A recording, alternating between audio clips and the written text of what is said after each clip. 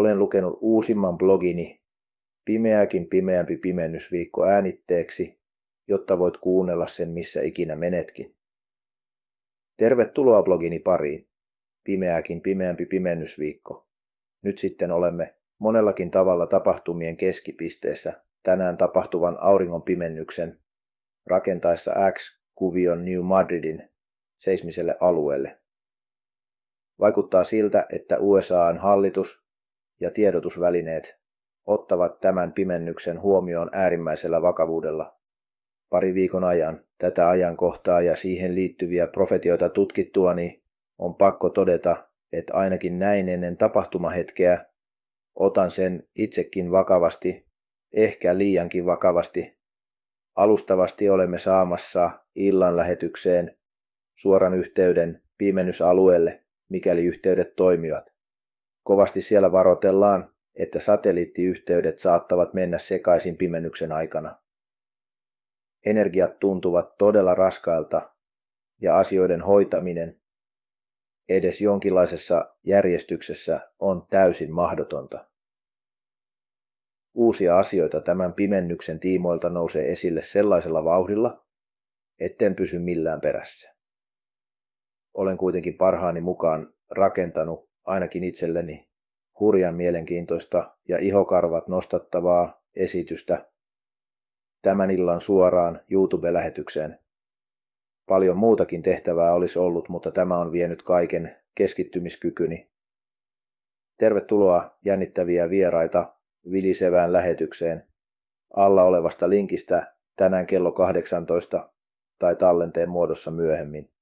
Muuten tämä pimennysviikko on planeettakuvioiltaan eheyttävä ja parantava Chironin tehdessä yhtymää auringolle ja kuulle pimennyshetkellä. Olivat tästä pimennyksestä seuraavat tapahtumat sitten mitä tahansa, niin todella voimakkaasti ne ohjaavat ihmiskuntaa valoisemmille raiteille. Astrologisella taivaalla on aivan mahtava linjaus. Kuun, auringon, Venuksen, Marsin, Saturnuksen, Neptunuksen ja Chironin toteuttamana. Samalla tavalla kuin niillä on suuri vaikutus maapallon ja maankuoren tasapainoon, on niillä suuri vaikutus minun ja sinun elämään. Koko ihmiskunnalle tapahtumassa oleva siirtyminen kahlehditusta aikakaudesta vapauden aikakauteen toteutuu niiden ihmisten kautta, jotka ovat valmiita poikkeamaan tutuksi ja turvalliseksi käyneiltä tottumuksen poluilta uusille reiteille päivittäisessä elämässä.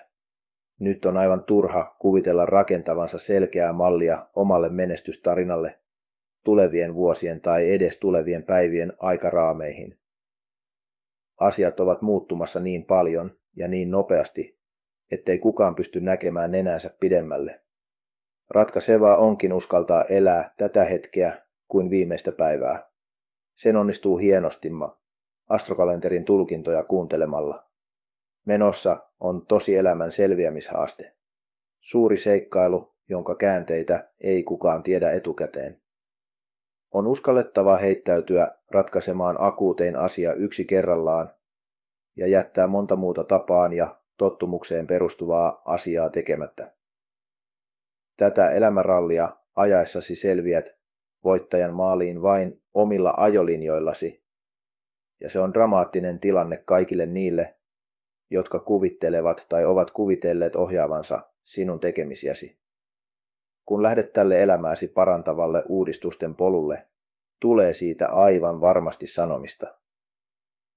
Se kuuluu asiaan positiivisena merkkinä siitä, että olet ihan tosissaan itsenäistymässä ja ottamassa elämää omiin käsiisi. Tällä viikolla nousee valtava määrä tunteita pintaan, sillä jokainen tunnistaa sisimmässään vapauden kaipuun ja ahdistuksen, ellei jostain syystä uskalla kulkea omaa vapauttaan kohti. Marsin ja Saturnuksen yhtymä antaa ainutlaatuisen vahvistuksen omalle missiollesi ja omaan elämäntehtävääsi sitoutumiselle tämän viikon aikana. Tästä suuresta mahdollisuudesta juttelen viikonlopun messuilla lauantain luennolla. Tervetuloa kuulolle hotelli Rantapuistoon Furuborgin katu 3 Helsinki. Terveisin astrologi Seppo Tanhua